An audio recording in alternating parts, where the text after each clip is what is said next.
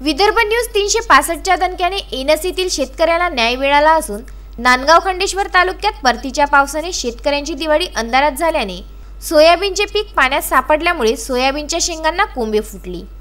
तसेच कपाशीचे सुद्धा मोठ्या प्रमाणात नुकसान होऊन शेतकरी प्रभा देवीदास ब्राह्मणवाडे तसेच मारुतराव रघुते यांनी आपल्या शेताचा सर्वे करण्याची मागणी तहसीलदार यांच्याकडे केली. परंतु याकडे तहसील कार्यालयाच्या अधिकाऱ्यांनी जाणीवपूर्वक दुर्लक्ष केल्याने या दोन्ही शेतकऱ्यांनी विदर्भ न्यूजकडे दाद मागितली.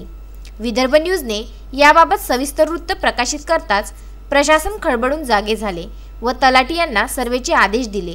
तलाठ्यांनी तातडीने सर्वेसुद्धा केला.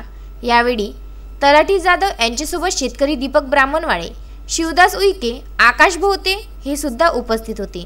अशी माहिती विदर्भ न्यूजला एनस येथील पत्रकार प्रदीप रघुते यांनी दिली. Vidarbha news bureau Nandgaon Khandeshwar.